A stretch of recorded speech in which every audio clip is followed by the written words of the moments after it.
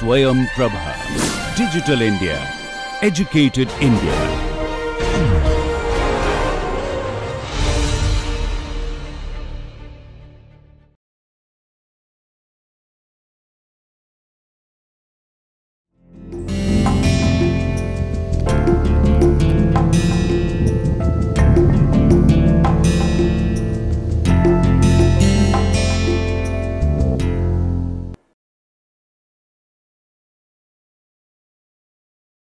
नमस्कार, प्रिय विद्यार्थियों। मेरा नाम डॉक्टर हिमानी सिंह है। मैं institute of business management GLA university Mathura में एसोसिएट प्रोफेसर के पद पर कार्यरत हूँ। मैं जिस विषय को आप तक लेकर आई हूँ, उसका नाम है प्रबंधन प्रक्रिया और संगठनात्मक व्यवहार, यानी कि management process and organisational behaviour व्याख्यान क्रम पाँच में हम नियोजन पे बात करेंगे। यानी कि प्लानिंग इस सत्र के अंत तक आप निम्न चीज़ों में सक्षम होंगे। हम नियोजन की अवधारणा के ऊपर प्रकाश डालेंगे। इसके अलावा हम नियोजन के विभिन्न आधारों और प्रकारों को समझेंगे और पहचानेंगे, ताकि आप लोग दी गई स्थिति में उपयुक्त प्रकार की योजना को अपना सकें। इसके साथ ही साथ हम इस व्याख्यान में संगठन में कौन सी योजनाएँ विकसित करते समय आपको जिन विभिन्न चरणों का उपयोग करना पड़ता है, उस पर भी चर्चा करेंगे। और साथ ही साथ हम यह भी देखेंगे कि कोई भी नियोजन या योजना बनाते वक्त आपको कौन सी कठिनाइयों या चुनौतियों का सामना करना पड़ता है, क्योंकि उन चुनौतियों और कठिनाइयों को हमें समय रहते पहचानना चाहिए। तो चलिए आगे बढ़ते हैं और समझते हैं कि नियोजन होता क्या है, या योजना होती क्या है, या प्लानिंग क्या है। मोंडे एंड फिलिपो के अनुसार, लक्ष्यों तथा इनकी प्राप्ति के लिए कार्य पथ के निर्धारण की प्रक्रिया को नियोजन कहा जाता है। इसके अलावा, अगर हम जॉर्ज आर टेरी के शब्दों की बात करें तो उन्होंने नियोजन भविष्य में देखने की विधि अथवा कला है। इसमें भविष्य की आवश्यकताओं का पूर्वानुमान लगाया जाता है ताकि निर्धारित लक्ष्यों की पूर्ति के लिए जाने वाले वर्तमान प्रयासों को उनके अनुरूप डाला जा सके। तो अगर हम नियोजन की बात करें तो कुछ लोग तो इसे पूर्वानुमान कहते हैं और कुछ लोग कार्यपथ के निर्धारण के लिए की जाने वाली प्रक्रिया कहते हैं। तो नियोजन है क्या आखिर? या योजना है क्या?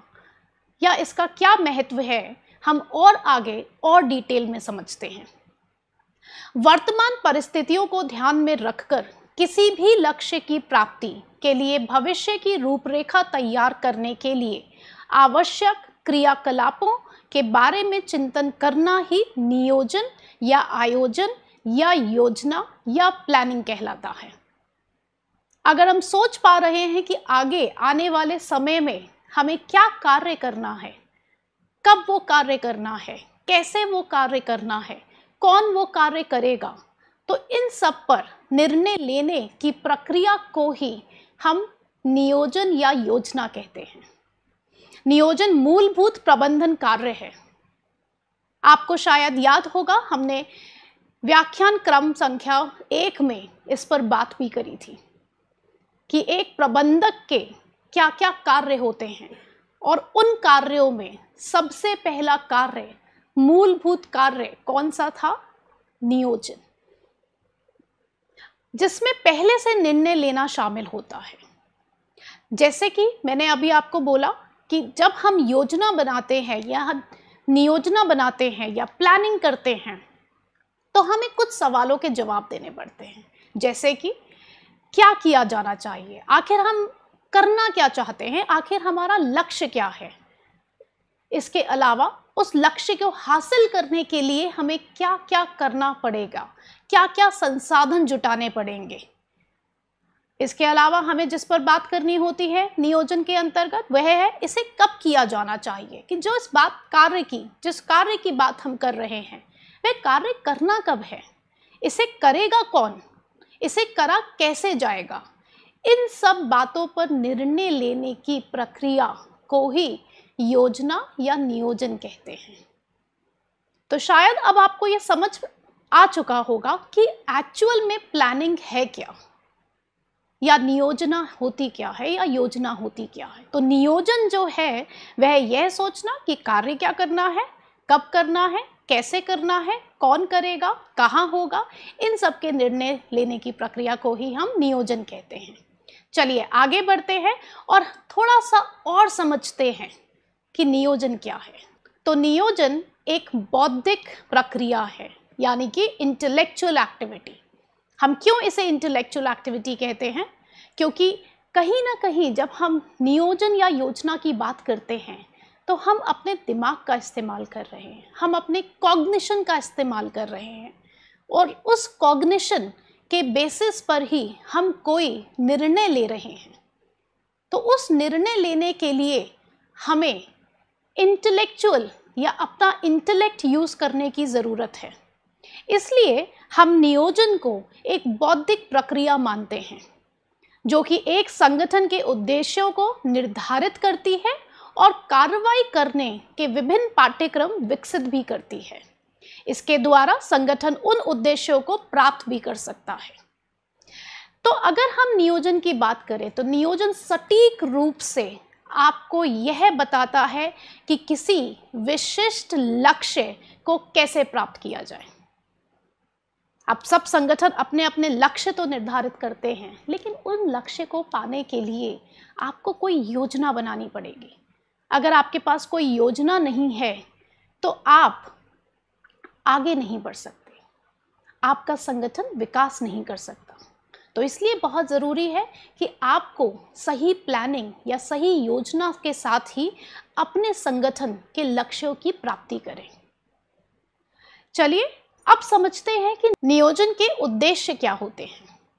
तो सबसे पहले नियोजन के उद्देश्य में हमें होता है जानकारी प्रदान करना। यही है योजना का उद्देश्य। कि वह हमें विस्तार से जानकारी प्रदान करता है कि हमारा लक्ष्य है क्या, हमें लक्ष्य कैसे कर, कैसे पाना है, कौन उस लक्ष्य को पाएगा, कब तक उस लक्ष्य को पाना है, हर चीज़ के सवाल का जवाब, का मिलना ही योजना है। तो इसीलिए हम कहते हैं कि योजना या नियोजन का सबसे बड़ा उद्देश्य होता है जानकारी प्रदान करना। और सिर्फ़ जानकारी ही नहीं इसके अलावा एक अच्छी योजना हमें विशिष्ट दिशा भी प्रदान करती है। हमें ये पता चलता है कि हमें किस डायरेक्शन में किस ओर जाना है। कभी कभी संगठन अपने बहुत बड़े बड़े लक्ष्य तो बना लेते हैं, लेकिन उनको यह नहीं समझ आ पाता क्योंकि प्लानिंग अच्छी नहीं है, क्योंकि नियोजना नहीं बनाई। योजना नहीं बनाई, जिसकी वजह से वह यह नहीं समझ पाते कि अब उनको करना क्या है। अगर हम उदाहरण के तौर पे लें तो मेरे संगठन ने कहा कि मुझे अपने कंपनी को, मुझे अपने संगठन को, अपनी संस्था को आगे आने वाले पाँच सालों के अंदर एक सस्टेनेबल संगठन के रूप में लेकर आना है। तो ये मेरा लक्ष्य है। लेकिन अब इस लक्ष्य को प्राप्त कैसे किया जाए, उसके लिए हमें बनानी पड़ेगी योजना। अब योजना में अलग अलग चीज़ें हो सकती हैं। हो सकता है मेरा संगठन चाहता हो कि हम अपने आप को सस्टेनेबल डेवलप कर सकते हैं या सस्टेनेबल ऑर्गेनाइजेशन बना सकते हैं एक सस्टेनेबल प्रोडक्ट लाके, या दूसरा प्लान हो सकता है कि हम कुछ और चीज़ों पर बात करें। तो ये अलग अलग चीज़ें हो सकती हैं। लेकिन एक अच्छा प्लान हमें ये बताएगा कि हमें किस तरफ़ मूव करना है। हमें किस रास्ते जाना है? अपने संगठन को सस्टेनेबल डेवलपमेंट या सस्टेनेबल डेवलप्ड ऑर्गेनाइजेशन के रूप में स्थापित करने के लिए। अगर हमारे पास कोई योजना ही नहीं होगी तो चाहे हम कितना भी ज़ोर लगा लें कि हम संगठ हमारा संगठन एक सस्टेनेबल संगठन बन पाए, वो मुमकिन नहीं हो पाता। तो दूसरा उद्देश्य जो है इसका, वो यह है कि एक अच्छा डायरेक्शन प्रोवाइड करता है।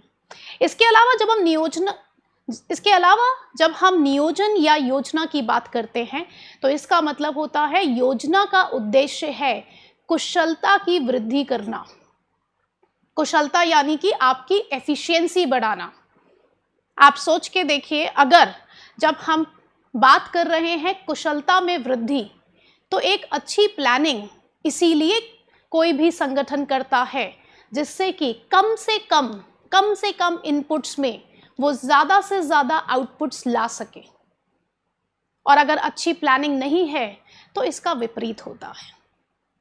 तो तीसरा उद्देश्य जो एक योजना का होता है, वो यह है कि हमें किस तरीके से अपना कार्य दक्षतापूर्ण करें, प्रभावपूर्ण तरीके से करें। आप कहेंगे, ये दो शब्द हैं जिन पर मैं बार बार बार बार एम्फोसिस दे रही हूँ। प्रभावपूर्ण और दक्षतापूर्ण। क्योंकि मैंने आपको पहले व्याख्यान में ही कहा था कि ये दो शब्द, यानी कि इफ़ेक्टिवनेस प्रभावपूर्ण, और एफिशिएंसी यानी कि दक्षतापूर्ण, ये पूरे प्रबंधन का सार है। तो अगर आपकी प्लानिंग नहीं है तो प्लानिंग का उद्देश्य ही ये होता है कि आप कम नियतों में, कम इनपुट्स में अच्छा आउटपुट लेकर आ पाए। इसके अलावा जो दूसरा एक और उद्देश्य नियोजन का रहता है। वह होता है प्रबंधन में मितव्ययता लाना, यानी कि अपनी संगठन को इकोनॉमिकली साउंड बनाना। अगर किसी कंपनी के पास आज एक करोड़ रुपए हैं, लेकिन उसने कोई योजना ही नहीं बनाई कि किस तरीके से वो उस एक करोड़ रुपए को अलग अलग जगह खर्च कर कर, लगा कर अपने संगठन को आगे ले जाएगा तो कैसे आप सोच सकते हैं कि कोई कंपनी या कोई संगठन इकोनॉमिकली साउंड बनेगा। तो एक अच्छी योजना का उद्देश्य होता है कि हम अपने अपव्यय को कम करके अपनी मितव्ययता को बढ़ाएँ, जिससे कि हम एक इकोनॉमिकली स्टेबल इकोनॉमिकली साउंड संगठन के रूप में सामने आए। इसके अलावा अगर हम दूसरे उद्देश्य नेक्स्ट उद्देश्य की बात करें तो वह होता है भावी कार्यों में निश्चितता। यानी कि सर्टेनिटी इन फ्यूचर जब हम बात करते हैं योजना की तो ये योजना का एक और उद्देश्य है। देखिए, योजना आप किसकी बना रहे हैं? फ्यूचर की। क्या वो सर्टेन है? नहीं। वो अनसर्टेन है। लेकिन फिर भी हम योजना बनाते हैं। तो अगर योजना होगी, हमारे पास कुछ तभी तो हम उस अनसर्टेनिटी को कम करके सर्टेनिटी ला पाएँगे। लेकिन जब हमारे पास कोई योजना ही नहीं होगी तो हम कैसे अनसर्टेनिटी फ्यूचर की कम करेंगे? तो ये एक अलग उद्देश्य होता है इसका। इसके अलावा इसके अलावा जो उद्देश्य योजना का है, वह है जोखिम को परखना। जैसा कि अभी कुछ मिनटों पहले ही मैंने बोला कि योजना हम बनाते हैं फ्यूचर के लिए। तो फ्यूचर किसने देखा है? भविष्य किसने देखा है? भविष्य में क्या जोखिम आने वाले हैं? क्या चैलेंजेस आने वाले हैं? क्या परेशानियाँ आने वाली हैं? वो किसी ने नहीं देखी। लेकिन अगर आपकी एक सटीक प्लानिंग होगी, सटीक योजना होगी तो वह आपको तैयार रखेगा इन तरीके के जोखिमों को झेलने के लिए। इसके अलावा जब हम उसके नियोजन के उद्देश्य की बात करें तो हाँ नियोजन हमें निर्धारित लक्ष्य की प्राप्ति करना सिखाता है और इसके अलावा साम्य एवं समन्वय की स्थापना करता है, यानी कि एक अच्छी योजना, एक अच्छी प्लानिंग का उद्देश्य होता है कि हर जगह, हर चीज़ में, हर डिपार्टमेंट में, लोगों के बीच में डिफरेंट एक्टिविटीज़ के बीच में एक ऐसा कोऑर्डिनेशन हो, एक ऐसा समन्वय हो जिससे कि सब साथ में आगे बढ़े। तो जब हम योजना के उद्देश्यों की बात करते हैं तो योजना के उद्देश्य इस तरीके के हैं कि जो आपकी संस्था को आगे लेकर जाएँगे। अब इसके बाद हम जिस पर चर्चा करने वाले हैं, वह है प्रबंधन में योजना का क्या महत्व है। व्याख्यान क्रम संख्या एक में मैंने बार बार कहा था कि सबसे पहला कार्य एक प्रबंधक का होता है प्लानिंग यानी कि योजना बनाना। या प्रबंधन में आप कह सकते हैं कि कौन सा सबसे पहला कार्य है, यानी कि मैनेजमेंट फ़ंक्शन कौन सा है? प्लानिंग अगर प्लानिंग नहीं है तो कुछ नहीं है। तो सबसे पहला, सबसे महत्वपूर्ण चीज़ आपको ये समझने की ज़रूरत है कि योजना का क्या महत्व है प्रबंधन में, यानी कि मैनेजमेंट में। क्यों हम इतनी महत्ता दे रहे हैं उसको? क्यों बिना योजना के हम आगे नहीं बढ़ सकते, जबकि फ्यूचर तो अनसर्टेन है? जब हम जानते ही नहीं कि फ्यूचर में क्या है तो हम योजना क्यों बनाते हैं? तो आइए समझते हैं कि प्रबंधन में योजना का क्या महत्व है। क्यों हम मैनेजर्स को या प्रबंधक को एक अच्छा प्लानर बनने की सलाह देते हैं? हम चाहते हैं कि एक प्रबंधक जो कि एक अच्छा इंसान है उसके साथ साथ एक अच्छा प्लानर होना ज़रूरी है एक अच्छा नियोजक होना ज़रूरी है। क्योंकि जहाँ पर भी चूक हुई उसकी नियोजना में तो उसका संगठन फेल हो सकता है। तो चलिए आगे बढ़ते हैं इसी ओर और, और समझते हैं कि प्रबंधन में योजना का क्या महत्व है। तो सबसे पहला जब हम बात करेंगे इस ओर तो प्रबंधन में योजना का महत्व है कि वह हमें एक दिशा प्रदान करता है, यानी कि डायरेक्शन देता है। मैनेजमेंट बहुत सारी छोटी छोटी चीज़ों से मिलकर बनता है।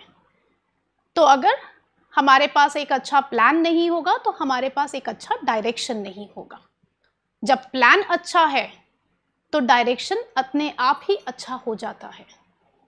तो ये इसलिए ज़रूरी है प्रबंधन में, क्योंकि हमें नियोजन के थ्रू या योजना के रहते हुए हमें यह पता चलता है कि हमें अपने एम्प्लॉयज़ अपने कर्मचारियों को किस ओर लेके जाना है। और सिर्फ़ यह ही नहीं, इसके अलावा नियोजन या योजना एक एकीकृत ढांचा देता है। यानी कि it provides a unifying framework for all जैसा कि हम पहले भी बात कर चुके हैं किसी भी कंपनी में अलग अलग डिपार्टमेंट होते हैं अलग अलग एक्टिविटीज़ होती हैं अलग अलग तरीके का कार्य होता है। तो अलग अलग कार्य को करने के लिए अलग अलग सूझबूझ चाहिए अलग अलग दिमाग चाहिए अलग अलग व्यक्तित्व चाहिए। तो आप सोच सकते हैं कि एक ही संगठन में रहते हुए कितनी अलग अलग चीज़ों पर बात हो रही है। और जब इतनी अलग अलग चीज़ों पर बात हो रही है तो सब लोग अपनी अपनी जगहों पर रहकर कैसे एक एकीकृत ढांचे की बात कर पाते हैं? वह बात कर पाते हैं एकीकृत ढांचे की सिर्फ़ और सिर्फ़ योजना के अंतर्गत। क्योंकि एक योजना जो उन्होंने बनाई है वो वो सबके दिमाग में क्लियर है। और जब वो सबके दिमाग में क्लियर है तो चाहे हम कहीं भी रहें, चाहे हम उस संस्था का पार्ट हैं, और हम उसी कंपनी में हैं और उसी देश में हैं या उसी संस्था का कोई और पार्ट किसी और कंपनी या किसी और देश या किसी और जगह पर स्थित है, तब भी हम एक यूनिफाइंग फ्रेमवर्क की तरह ही काम करेंगे। एक एकीकृत ढांचे की तरह ही काम करेंगे, क्योंकि प्लानिंग सेम है और प्लानिंग है वहाँ पर। इसके अलावा जब हम प्रबंधन में योजना के महत्व की बात करते हैं तो एक बहुत ही इंपॉर्टेंट चीज़ हमारे सामने आती है कि कि योजना का महत्व इसलिए है क्योंकि योजना हमें इकोनॉमिकल बनाती है। हमें ये बताती है कि कैसे हम संस्था का पैसा सही जगह, सही संस्थानों, सही संसाधनों, सही लोगों पर खर्च करें, जिससे कि हम विकास की ओर बढ़ें। अगर हमारे पास प्लानिंग ही नहीं होगी तो हम, हो सकता है गलत जगह, गलत संस्थान, गलत संसाधनों, गलत लोगों, गलत चीज़ों, गलत सामान पर पैसा लगाएँ। तो जब हमारे पास प्लान होता है, या प्लानिंग होती है, या योजना होती है तो हम एक डायरेक्शन में, एक दिशा में बढ़ते हैं एकीकृत ढांचे में काम करते हैं और उसके अलावा हम और इकोनॉमिकल या आप कह सकते हैं किफ़ायती बनते हैं। और अगर कोई भी संस्था किफ़ायती है तो कहीं ना कहीं आप बढ़ रहे हैं प्रॉफिट की ओर। और, और हर संस्था चाहती है कि उसका प्रॉफिट अच्छा हो। चलिए आगे देखते हैं कि प्रबंधन में योजना का क्या महत्व है। तो प्रबंधन का महत्व है कि अनिश्चितता के जोखिम को कम करता है, यानी कि रिड्यूसेस रिस्क ऑफ़ अनसर्टेनिटी जैसा कि अभी मैंने पहले भी कहा था कि योजना का उद्देश्य ही ये है कि फ्यूचर को देखना फ्यूचर को मापना और उसके हिसाब से प्लानिंग करना। तो कहीं ना कहीं महत्व क्या हुआ? कि ये हमें बचाता है अनसर्टेन सिचुएशन से। और यही नहीं, हमें डिसीज़न लेने में, यानी कि निर्णय लेने में भी सुविधा होती है, अगर हमारा प्लान अच्छा है तो। तो हम अच्छे डिसीजंस अच्छे निर्णय ले पाते हैं। इसके साथ साथ जब प्लानिंग की बात करते हैं हम, योजना की बात करते हैं प्रबंधन में तो योजना के होने से क्रिएटिविटी इनोवेशन यानी कि नवाचार और रचनात्मकता को प्रोत्साहित किया जाता है। और सिर्फ़ ये ही नहीं मनोबल में भी सुधार आता है लोगों का। It also improves the moral of the people working in the organisation अब आप कहेंगे कि मोरल कैसे बढ़ रहा है एक अच्छी प्लानिंग से? अरे, जब आपके पास एक अच्छी योजना होगी तो आप उस योजना के अंतर्गत रहते हुए कार्य करेंगे। आपको ये क्लैरिटी होगी कि आपकी संस्था आपसे क्या चाहती है। आपकी संस्था आपसे कौन से कार्य करवाना चाहती है? आपकी संस्था किस समय आपसे वो कार्य करवाना चाहती है? अगर इन सब चीज़ों की आपको क्लैरिटी है तो आपका मोटिवेशन आपका मोरल हमेशा बढ़ता है। तो ये था प्रबंधन में योजना का महत्व। चलिए, अब आगे बढ़ते हैं और बात करते हैं नियोजन के सिद्धांतों की, यानी कि प्रिंसिपल्स ऑफ़ प्लानिंग नियोजन के भी कुछ सिद्धांत होते हैं। और अगर हम उन सिद्धांतों को अच्छे से फॉलो करते हैं तो हमारी प्लानिंग फेल हो ही नहीं सकती। कुछ बातों का, कुछ प्रिंसिपल्स का, कुछ सिद्धांतों का हमें हमेशा ध्यान रखना चाहिए। चलिए, आगे बढ़ते हैं इसी ओर। तो सबसे पहला सिद्धांत है समय का सिद्धांत। यानी कि टाइम बाउंड होना। हमने अभी तक जो चर्चा करी, हमने चर्चा करी कि योजना होनी चाहिए। लेकिन आपने योजना तो बनाई, लेकिन आपने ये निर्धारित नहीं किया कि आपको वो योजना कितने समय में कंप्लीट करनी है, पूरी करनी है। तो ऐसी योजना का कोई फ़ायदा नहीं है। तो योजना का सबसे पहला सिद्धांत होता है कि आपको कहीं ना कहीं यह देखना है कि क्या आपकी योजना टाइम बाउंड है कि नहीं। क्या आपने ये निर्धारित किया है कि नहीं कि ये योजना इतने समय में ख़त्म होनी चाहिए या पूरी होनी चाहिए? तो यह सबसे पहला सिद्धांत था जिसमें हमें ये ध्यान रखना चाहिए कि योजना बनाते वक्त हमें उसके टाइम लिमिट की भी महत्ता को समझना है। इसके अलावा दूसरा प्रिंसिपल या दूसरा सिद्धांत जो होता है वो है लोचशीलता का सिद्धांत, यानी कि फ्लेक्सिबिलिटी बहुत से लोग सोचते हैं कि हमने योजना बना दी तो अब ऐसे ही चलेगी चीज़। नहीं। एक अच्छा नियोजक वही होता है जो अपनी योजनाओं में लोचशीलता रखता है, यानी कि फ्लेक्सिबिलिटी रखता है।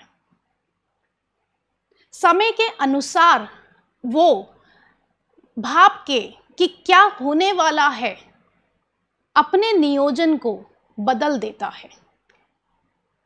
ऐसा मानना गलत होता है कि हमने जो नियोजन बना लिया या हमने जो योजना बना ली, वो ही अब हम पूरे एंड तक लेके जाएँगे। कभी कभी स्थितियाँ ऐसी होती हैं कि आपको इतना लोचशील होना चाहिए कि बीच में अगर कोई एक्सटर्नल फैक्टर्स बाहरी तत्व या आंतरिक तत्व ही परेशान कर रहे हैं उस योजना के लिए तो उसके हिसाब से हमें नई योजना में आगे बढ़ना चाहिए। और सिर्फ़ ये ही नहीं, जब हम सिद्धांतों की बात करते हैं तो नियोजन का एक और सिद्धांत है, वो है कार्य कुशलता का सिद्धांत, यानी कि एफिशिएंसी हमने योजना तो बना ली। जैसे कि हमने योजना बनाई कि हमें 8000 यूनिट का उत्पाद एक दिन में करना है। हमने समय भी निर्धारित कर लिया कि 10 घंटे में करना है। लेकिन वो दस घंटे में काम करने की वजह से शायद हमको अपने इनपुट्स को एक नॉर्मल प्रक्रिया से भी ज़्यादा बढ़ाना पड़ गया। तो आप एफिशिएंट तो नहीं हुए, आप दक्ष तो नहीं हुए ना उस प्लान में। तो ये ध्यान रखिए कि अगर जब हम प्लान की बात करते हैं, योजना की बात करते हैं तो आप ये भी सोचिए कि उस योजना को दक्षतापूर्वक कैसे आप पूर्ण करेंगे। तो ये बहुत महत्वपूर्ण है। इसके अलावा जब हम बात करते हैं सिद्धांतों की तो एक और सिद्धांत हमारी नज़र में आता है, जो कि होता है परिवर्तन का सिद्धांत। परिवर्तन का सिद्धांत एक नियोजक को यही सिखाता है कि समय समय पर रहते हुए वो अपने नियोजन या योजनाओं को इवेलुएट करता हुआ चले कि क्या वो योजना सही जा रही है। अगर नहीं सही जा रही तो वहाँ पर वो रुके और सोचे कि कहाँ गलत है। और फिर अगर ज़रूरत है, ज़रूरत पड़ने पर उसे बदलना भी पड़े, उसे परिवर्तन भी लाना पड़े तो वो परिवर्तन लेकर आए। इसका मतलब रिजिड प्लानिंग नहीं होनी चाहिए। अगर ज़रूरी लग रहा है आपको तो परिवर्तन लाइए उस योजना में। उसको पूरा मत करिए फिर। आगे बढ़ते हैं और बात करते हैं अलग सिद्धांत की, जिसका मतलब होता है व्यापकता का सिद्धांत। मतलब कि आपकी जो प्लानिंग है, वो सर्वव्यापी है। हर जगह प्रेजेंट है। ऐसा नहीं है कि प्लानिंग या योजना बनानी है तो सिर्फ़ और सिर्फ़ शीर्ष स्तर के प्रबंधक ही इस्तेमाल किए जाएँगे। नहीं। अलग अलग प्रकार की योजना होती हैं। अभी हम आगे व्याख्यान में पढ़ेंगे कि कौन कौन से प्रकार की योजनाएँ होती हैं। तो अलग अलग प्रकार की योजनाएँ जब हैं तो अलग अलग स्तर पर योजना बनाने वालों की ज़रूरत है। इसीलिए हम कहते हैं कि योजना जो होती है, वो सर्वव्यापी होती है। ऐसा नहीं कि वो सिर्फ़ शीर्ष स्तर के लोग, शीर्ष स्तर के प्रबंधक ही योजना बनाते हैं। मध्यम स्तरीय या आप कहिए निचले स्तरीय के लोग भी लोअर लेवल ऑफ़ मैनेजर्स भी नियोजन या योजना बनाते हैं। इसके अलावा एक और सिद्धांत पर हम बात करेंगे, जो कि मोर्चाबंदी का सिद्धांत होता है। हमेशा ध्यान रखिए, जब भी आप कोई योजना बना रहे हैं तो अपने कॉम्पिटिटर्स अपने प्रतिद्वंदी को दिमाग में रखकर ही योजना बनाएँ।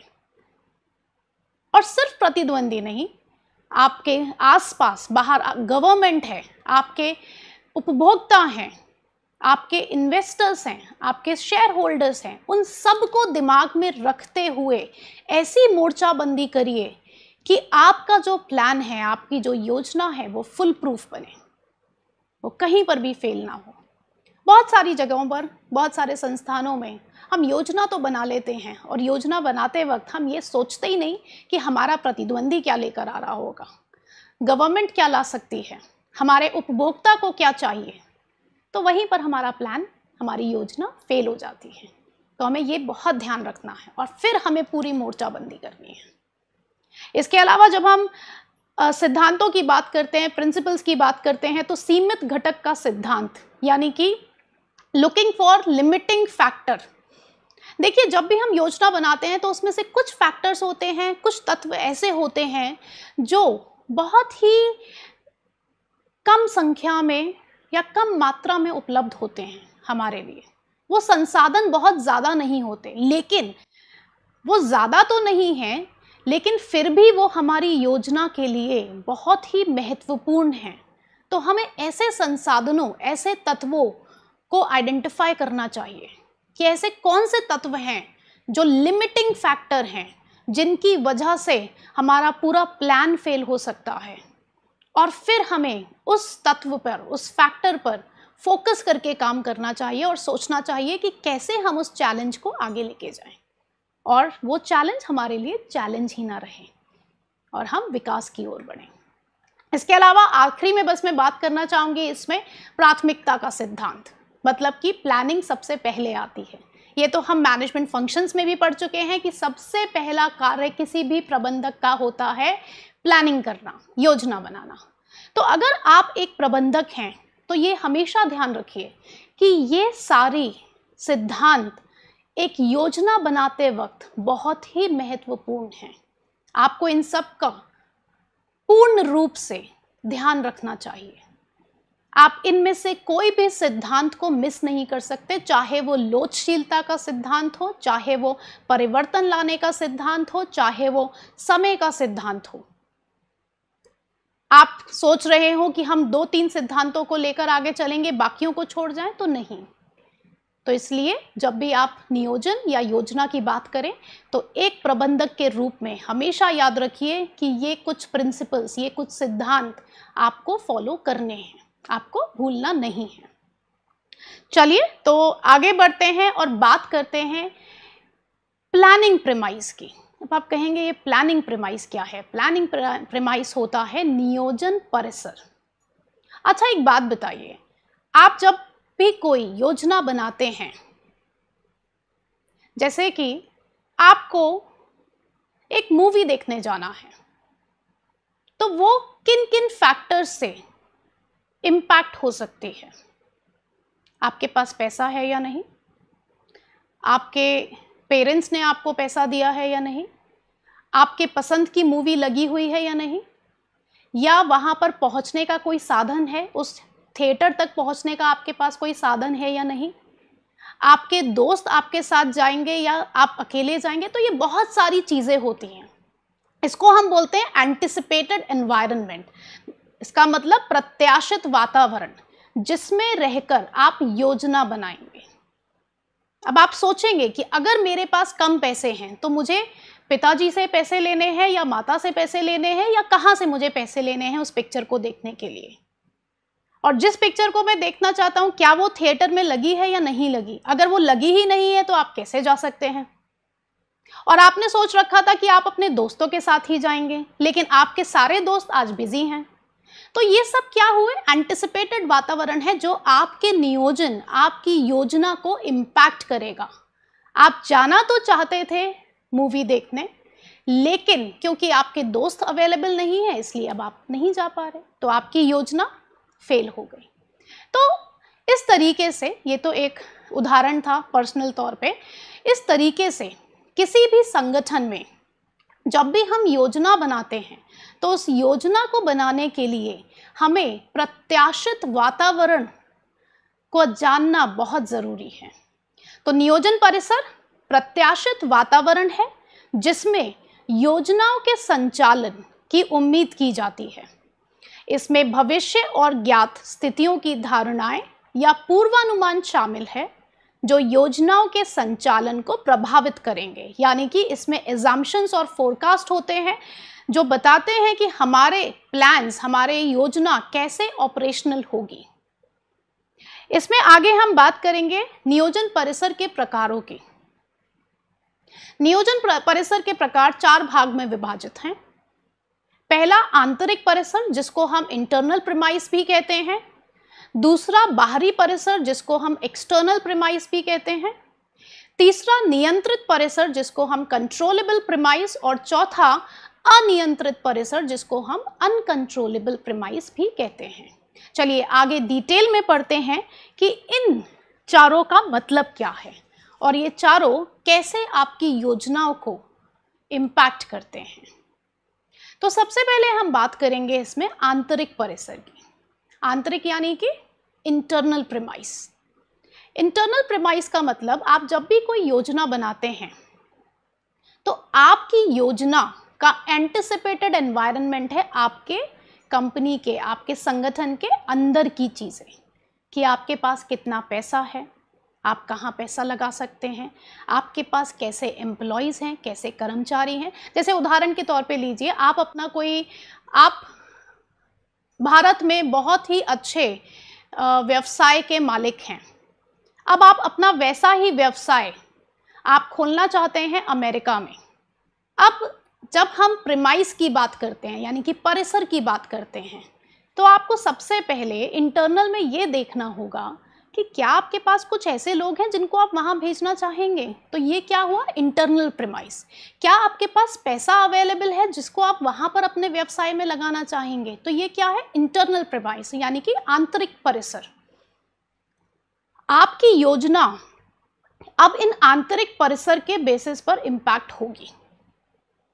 आप सोच के देखिए, अगर आपके पास इतना पैसा ही नहीं है तो अब आपने सोचा कि नहीं अमेरिका जैसी कंट्री में मुझे ज़्यादा पैसा लग रहा है उस व्यवसाय को इस्टेब्लिश करने के लिए तो चलिए मैं किसी डेवलपिंग कंट्री में जाता हूँ। डेवलप्ड कंट्री की बजाय, क्योंकि वहाँ शायद मुझे थोड़ा कम पैसा लगेगा। मैं किसी और फ्रेंडली नेशन में जाता हूँ जहाँ पर मेरे एम्प्लॉयज़ जिनको मैं वहाँ भेजूँगा, उनको लैंग्वेज प्रॉब्लम ना हो। तो ये क्या हुआ? इंटरनल प्रेमाइज आंतरिक परिसर। अब इसके अलावा बाहरी परिसर क्या होता है? आप अपना व्यवसाय अमेरिका में खोलना चाहते हैं तो वहाँ पर, वहाँ की गवर्नमेंट के कुछ रूल्स होंगे, कुछ रेगुलेशंस होंगे, कुछ लॉ एंड ऑर्डर की सिचुएशन होगी। वहाँ भी उपभोक्ता होंगे। वहाँ के उपभोक्ताओं की अलग टेस्ट अलग प्रेफरेंस अलग सोच होगी। तो ये सारी चीज़ें जब आपकी नियोजन को, आपकी योजना को इम्पैक्ट करते हैं तो इनको हम बोलते हैं बाहरी परिसर। बाहरी आधार व्यापार के बाहरी वातावरण से प्राप्त होता है, जैसे राजनीतिक, आर्थिक आदि। आगे बढ़ते हैं और बात करते हैं नियंत्रित परिसर और अनियंत्रित परिसर की। तो नियंत्रित परिसर क्या है? नियंत्रित परिसर होता है जो किसी भी संगठन के कार्यों के द्वारा नियंत्रित किया जा सकता है। अब आपको जब पैसा व्यवसाय में लगाना है तो ये आपके हाथ में है कि आप पचास करोड़ लगाएँ या आप पाँच करोड़ लगाएँ। ये नियंत्रित परिसर है। ये आपके हाथ में है कि आप अपने एम्प्लॉयज़ सारे के सारे वहाँ भेजना चाहेंगे या कुछ भेजना चाहेंगे, ये आपके हाथ में है। ये आपके हाथ में है कि आप वहीं के एम्प्लॉयज़ रखना चाहेंगे तो ये सब क्या हुआ? कंट्रोलेबल प्रीमाइस ये आपकी सोच है, आपके अंदर की बात है। ये आप कंट्रोल कर सकते हैं। दूसरी बात करते हैं, अनियंत्रित परिसर की। वे ज़्यादातर बाहरी होते हैं और संगठन के कार्यों द्वारा नियंत्रित नहीं किए जा सकते। जैसे कि अभी थोड़ी देर पहले मैंने बोला कि जब आप अमेरिका में अपना व्यवसाय चालू करना चाहते हैं तो वहाँ की गवर्नमेंट की कुछ कंडीशंस होंगी। वहाँ की लॉ एंड ऑर्डर कंडीशंस होंगी। क्या आप उनको नियंत्रित कर सकते हैं? नहीं। वो आपके कंट्रोल में नहीं है। वो जैसा एंटिसिपेटेड एनवायरनमेंट है, वो वैसा ही रहेगा। वो प्रत्याशित वातावरण आपके हिसाब से नहीं बदला जाएगा, या आप उसे कंट्रोल नहीं कर सकते, नियंत्रित नहीं कर सकते हैं। तो जब हम अनियंत्रित प्रमाइस की बात करते हैं, अनियंत्रित परिसर की बात करते हैं तो वो किसी भी संगठन के द्वारा नियंत्रित नहीं किया जा सकता।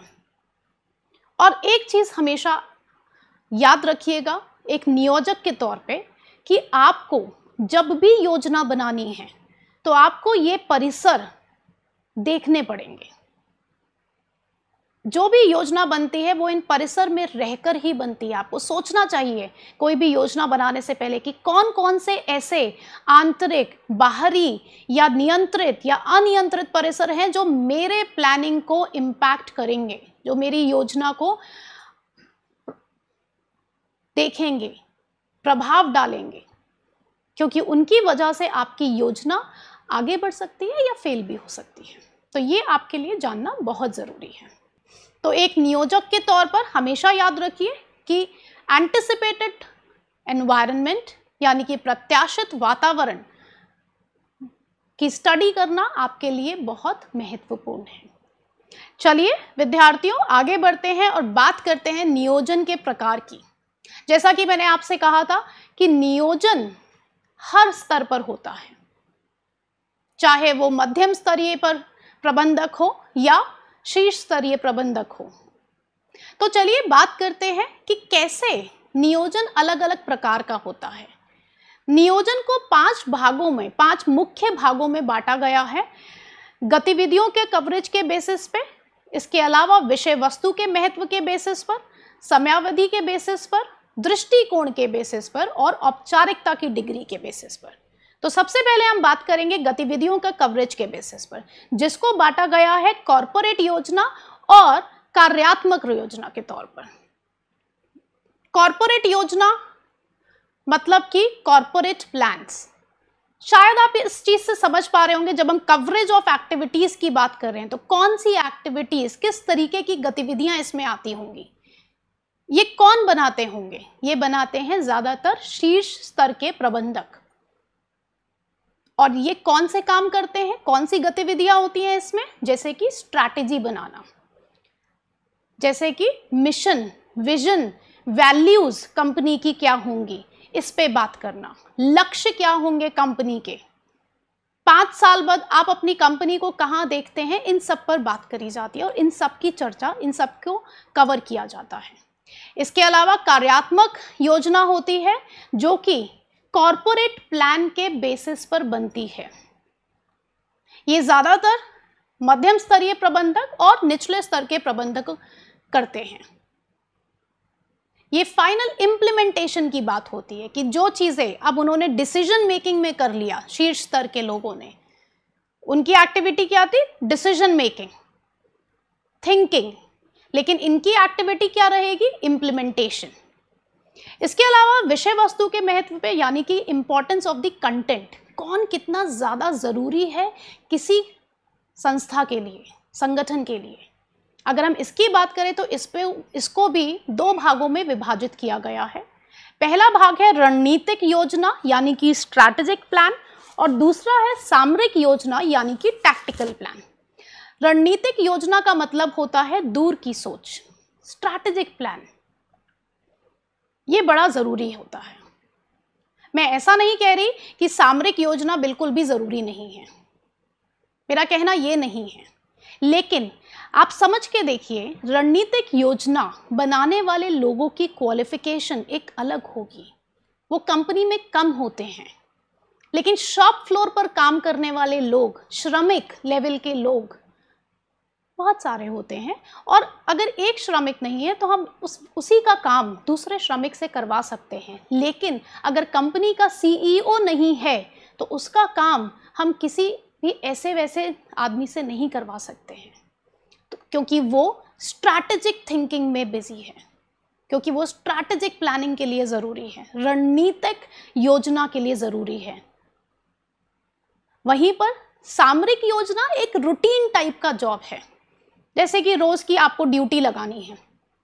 तो ये एक रोज़मर्रा का काम है, रूटीन का काम है। तो रूटीन काम जब हम बात कर रहे हैं, हम बिल्कुल ऐसा नहीं कह रहे कि ये ज़रूरी नहीं है। ये ज़रूरी तो है, लेकिन यह कार्य कोई भी कर सकता है आसानी से।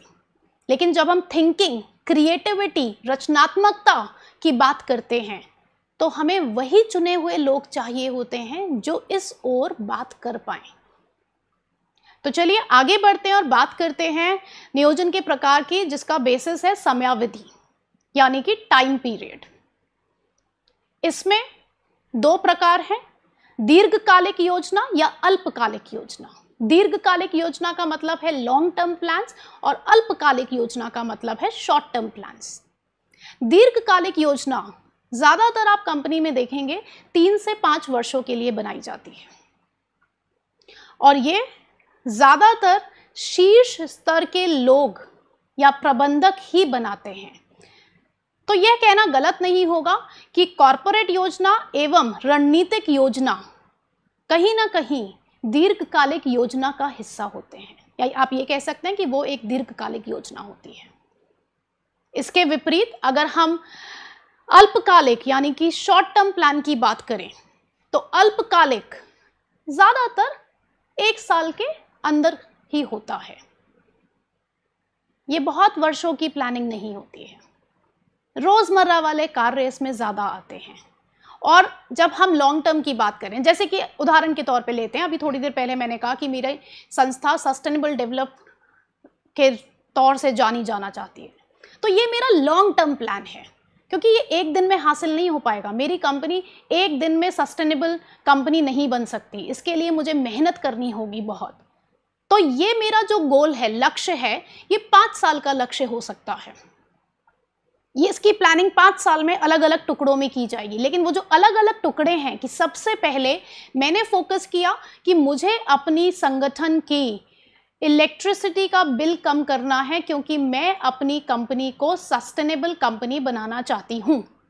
तो ये मेरा शॉर्ट टर्म प्लान हो सकता है उस ओर जहाँ पर मैंने लॉन्ग टर्म प्लान अपना बनाया है।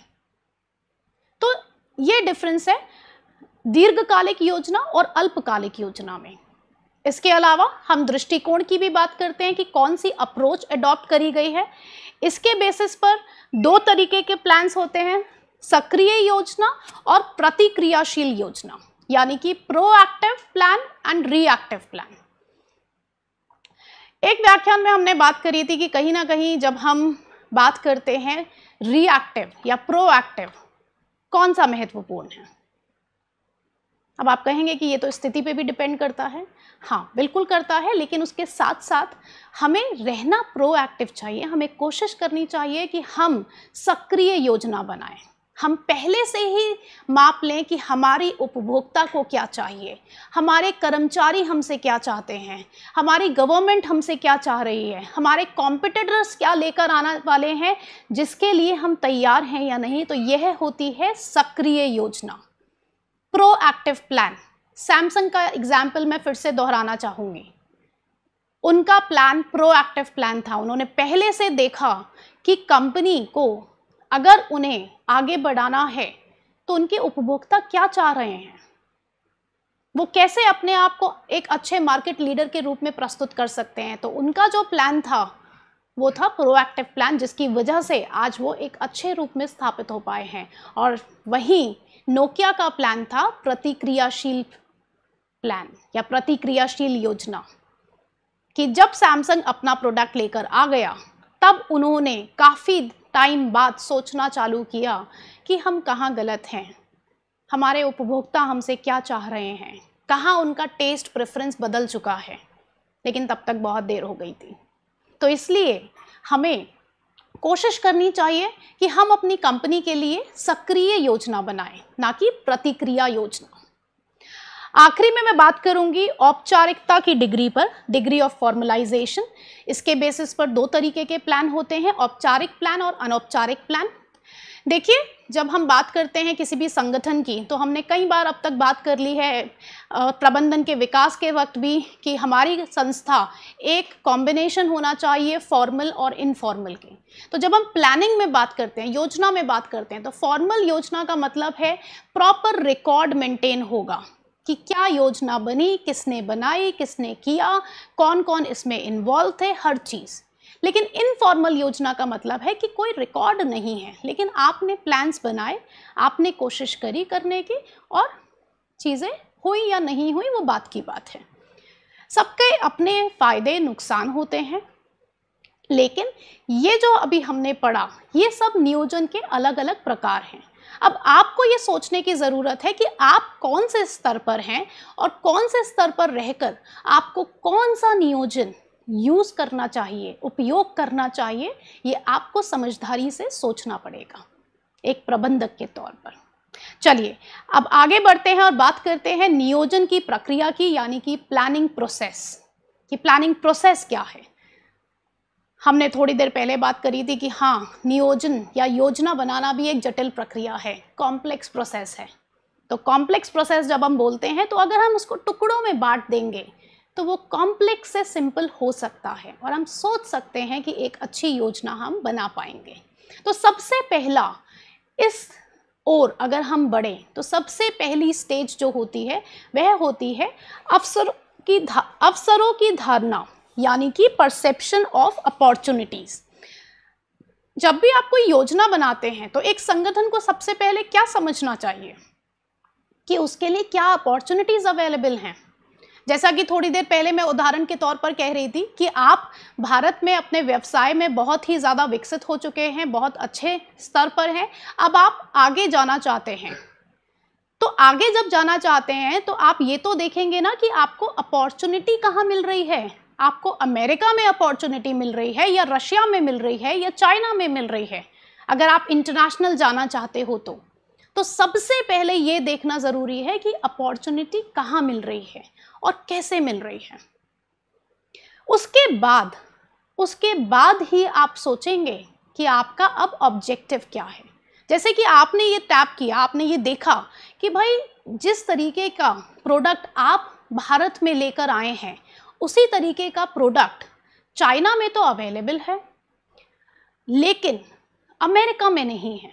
और अमेरिका में अभी भी लोग उसकी तरफ़ बहुत नहीं सोच रहे। तो ये क्या हुआ? आपके लिए एक अपॉर्चुनिटी निकली वहाँ कि हाँ आप चाइना ना जाकर आप अमेरिका जा सकते हैं। तो इस तरीके से आपको अपॉर्चुनिटी सोचनी चाहिए कि आपको कौन से देश में आगे बढ़ना है, अगर कौन सी दिशा में आगे बढ़ना है। जिस भी एरिया में आप सोचते हैं। और उसके बाद ही अब आप सोचेंगे कि मेरा ऑब्जेक्टिव क्या होगा, मेरा लक्ष्य क्या होगा। फिर लक्ष्य के बाद आपको क्या सोचने की ज़रूरत है? जैसे कि आपने अगर सोच लिया कि मुझे इस देश में जाकर अपना व्यवसाय सेटअप करना है तो उसके बाद अब आपको देखना पड़ेगा प्लानिंग प्रिमाइस आंतरिक, बाहरी, नियंत्रित, अनियंत्रित परिसर। क्योंकि वो इम्पैक्ट करेगा आपके योजना को। तो जब आपने प्लानिंग प्रिमाइस भी देख लिया तो आप आगे बढ़ेंगे, फिर आप आइडेंटिफाई करना चालू करेंगे अलग अलग ऑल्टरनेटिव्स कि मैं अपना व्यवसाय दूसरे देश में लेके जाना चाहता हूँ। ये प्रेमाइसेस हैं, लेकिन अब मेरे पास ऑल्टरनेटिव्स क्या हैं?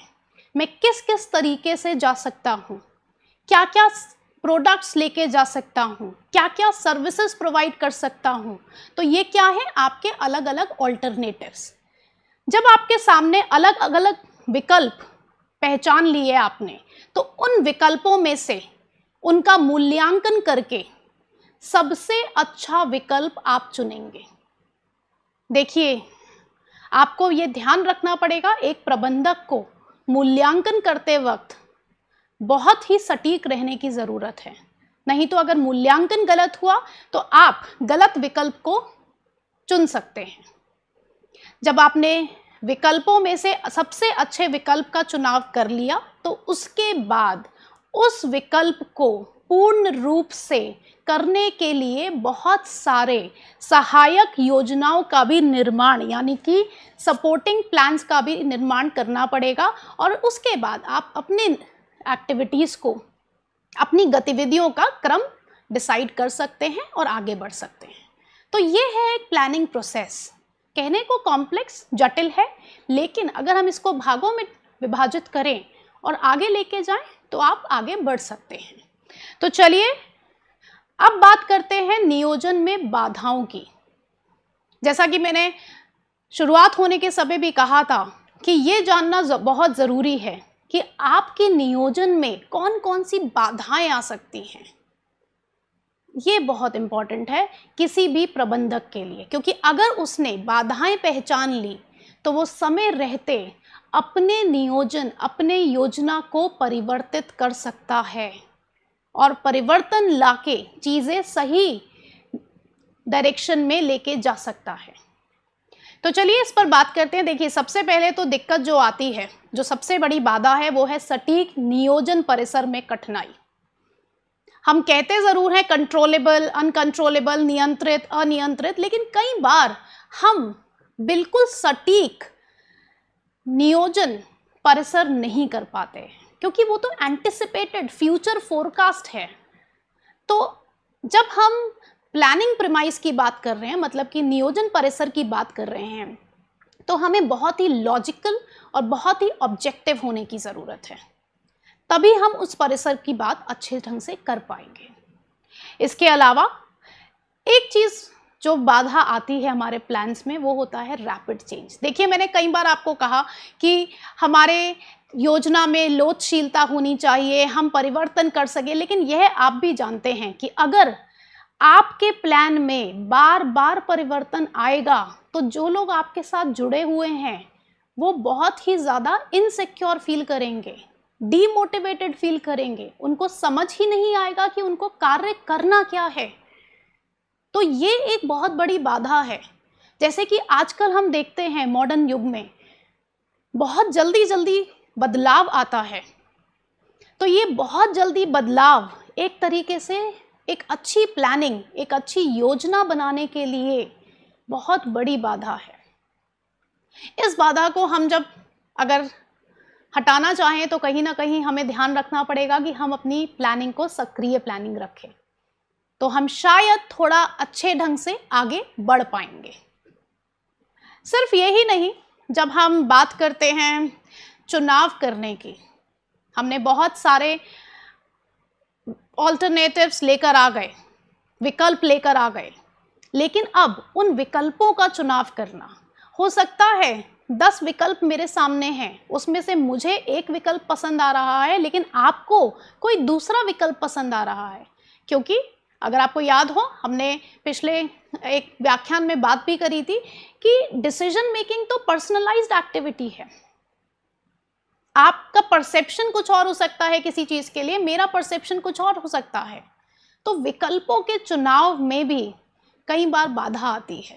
क्योंकि एक इंसान के तरफ़ से, सोच से एक विकल्प अच्छा हो सकता है और दूसरे इंसान की तरफ़ से और सोच से दूसरा विकल्प हो सकता है अच्छा। ये तभी समस्या आती है जब आपके विकल्पों को आपने ऑब्जेक्टिवली इवेलुएट नहीं किया है। तो ये समस्या बिल्कुल आएगी। इसके अलावा अगर हम बाधा की बात करें तो पर्याप्त मानसिक योग्यता का अभाव मनोवैज्ञानिक बाधाएँ, यानी कि साइकोलॉजिकल इनफ्लेक्सिबिलिटी सबसे बड़ी बाधा है।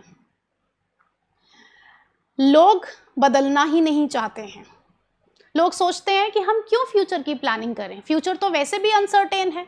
जब अनसर्टेन ही है तो देखा जाएगा जब जो होगा। तो अब आप सोचिए, ऐसी मानसिकता वाले प्रबंधकों से आप कैसे आगे बढ़ेंगे? अगर आपकी मानसिकता ही ये है कि जब जो होगा, देखा जाएगा तो आप कैसे एक अच्छी योजना बना पाएँगे? तो ये होती है साइकोलॉजिकल इनफ्लेक्सिबिलिटी जिसमें कहीं ना कहीं लोगों का ये मानना होता है कि हम देखेंगे योजना का क्या फ़ायदा है। जब जैसी चीज़ें आएँगी, जब जैसे बाधाएँ आएँगी, जैसे चैलेंजेस आएँगे, हम उससे निपटेंगे। इसके अलावा एक और सबसे बड़ी बाधा होती है अरुचिकर कार्य। कभी कभी हम ऐसे लोगों को योजना बनाने का कार्य सौंप देते हैं, जो वो योजना नहीं बनाना चाहते हैं। अगर वो योजना नहीं बनाना चाहते तो कहीं ना कहीं आपकी योजना विफल होगी। क्योंकि उन्होंने अपना पूर्ण रूप से समय दिया ही नहीं उस योजना के लिए तो कहाँ से उन्होंने एक अच्छी योजना बनाई होगी? तो ऐसे लोगों को बिल्कुल भी योजना बनाने को ना दें, जो उसमें बिल्कुल रुचि नहीं रखते हों। इसके अलावा हिस्सेदारी का अभाव अगर मैं कहूँ तो ये भी एक बहुत बड़ी बाधा है, बहुत सारे लोग ये समझते हैं कि हमारी क्या हिस्सेदारी है, हमारा क्या उत्तरदायित्व है। जब ये सब क्लैरिटी नहीं होती है तो लोग एक दूसरे पर बातें डालते हैं और प्लानिंग हमारी फेल हो जाती है। आखिरी में मैं बस इसी पर बात करना चाहूँगी कि समय और लागत का, यानी कि टाइम एंड कॉस्ट फैक्टर्स देखिए, जब हम योजना बनाते हैं तो समय भी जाता है और कॉस्ट भी लगती है। ऐसा नहीं है कि आप बिना लागत के अच्छी प्लानिंग कर लेंगे। और कभी कभी जब आपके प्लानिंग आपके तहत नहीं आगे बढ़ती है तो आपके लिए तो बहुत नुकसान हो जाता है। लेकिन इसको हमें देखना है कि हम कैसे टाइम और कॉस्ट फैक्टर्स को, यानी कि समय और लागत के तत्वों को कंट्रोल कर पाए। तो प्रिय विद्यार्थियों इस सत्र में हमने जिस पर बात करी, वो नियोजन के विभिन्न आधार तथा विभिन्न संदर्भों में उनकी उपयोगिता को समझा। इसके अलावा हमने नियोजन प्रक्रिया के अलग अलग चरणों को समझा और एक प्रबंधक के रूप में हमेशा याद रखिएगा कि योजना जटिल ज़रूर है, जटिल प्रक्रिया ज़रूर है, लेकिन आप इसे कर सकते हैं। साथ ही साथ हमने बाधाओं को भी पढ़ा। जब हम समझ पा रहे हैं कि बाधाएँ क्या क्या होती हैं तो एक प्रबंधक के रूप में आप हमेशा याद रखिए कि जब भी आप योजना बनाने बैठें तो उन बाधाओं को ध्यान में रखें और एक एक कर कर उन बाधाओं को हटाएँ। तब आप अपनी योजना का निर्माण करें। तो प्रिय विद्यार्थियों, मैं आशा करती हूँ कि आप सबको ये सब चीज़ें समझ आई होंगी। धन्यवाद।